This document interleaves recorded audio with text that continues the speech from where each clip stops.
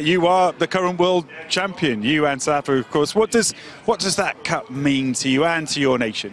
No, this uh, means the world to, to me. You know, this is basically my, my blood, tears, and sweat, you know, and hard work carved in gold.